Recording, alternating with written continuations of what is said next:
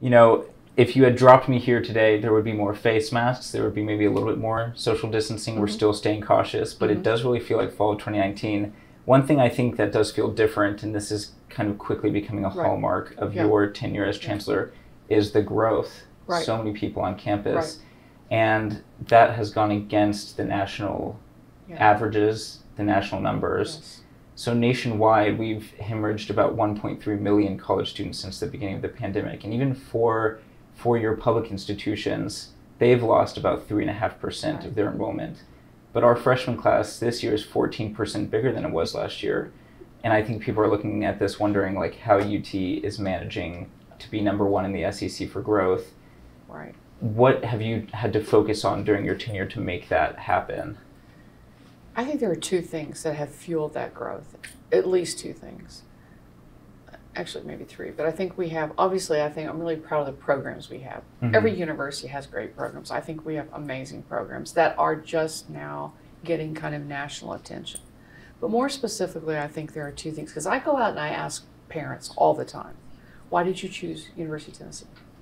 Um, and whether they're from out of state or in state, I want to know what the answer to that mm-hmm. is. I was at move-in day for this this year, and I, I asked them all, like, why, why did you choose us? Yeah.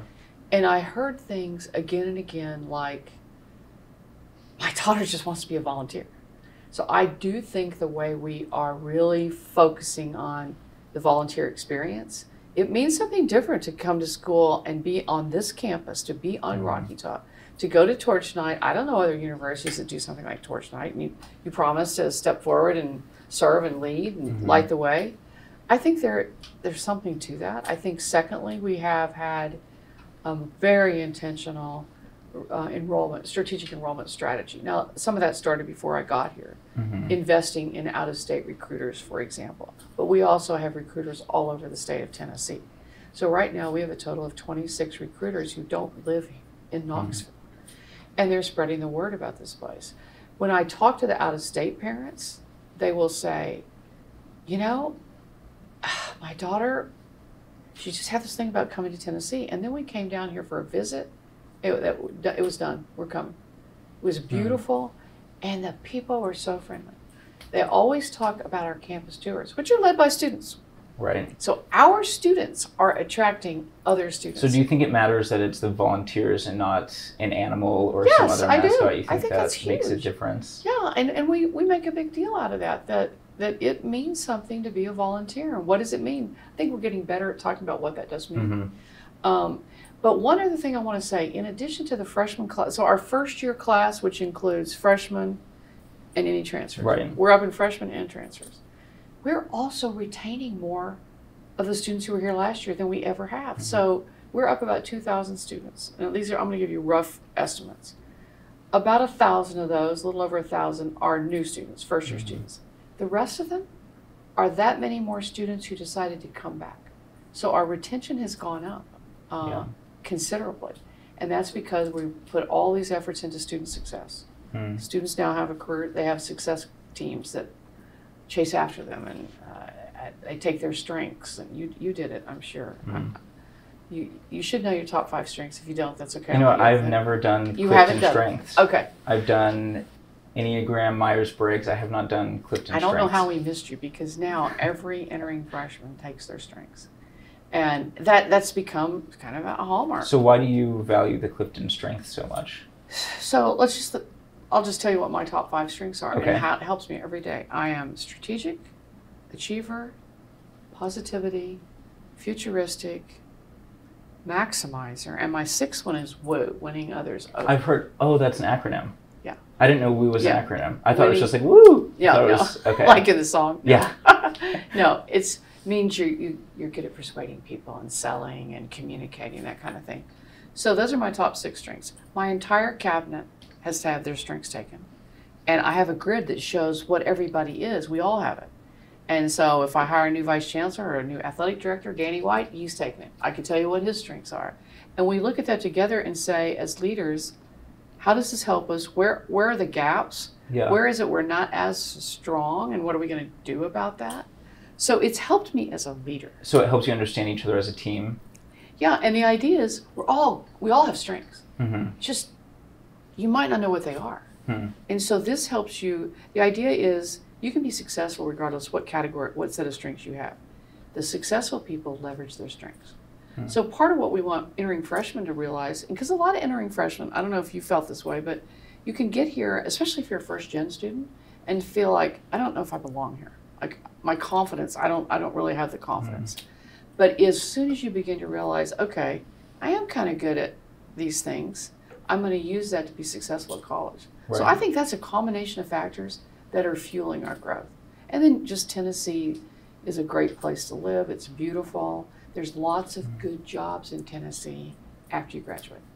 So I want to talk. The growth has from your team, your and, and you know the news information team at UT is touted. It's celebrated. It's an accomplishment mm-hmm. against other universities, but it does cause a lot of logistical problems, and these are being felt by students, you know, on a day-to-day basis. So you know we now have transfer students who have ha- are having to live in the Holiday Inn off campus. It's functioning as a dorm. We have students Right. living at Quarry Trail. There's plans to build the bridge across the river to kind of expand campus southward. Um, so I think a lot of people look at these things. They look at parking. I know G10 the other day had a zero on the screen. It was totally full, which Right. You know is kind of an anomaly. People Right. are looking at this growth and thinking, "Is this sustainable? Are we Right. growing too fast?" Right. And what's the calculation there? Why accept more students than can be housed currently on campus? So we have housed everyone who wanted a room, Mhm. okay, including the use of the Holiday Inn, I like Yeah. to call it.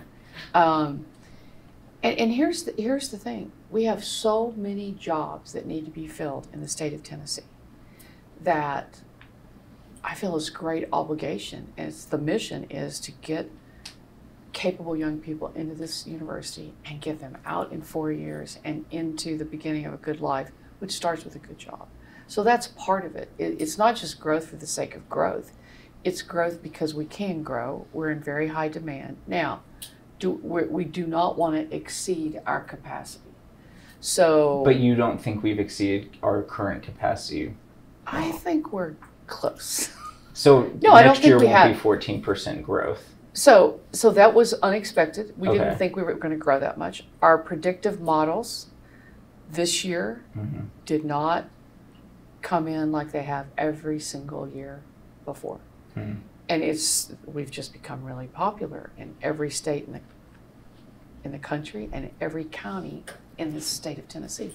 We're up in Tennesseans and we're up in out of state students. So we are so let me tell you some of the things that the reason I don't think we have exceeded capacity. Hmm. Last year at the beginning of the year we had a lot of long lines around food. You remember that?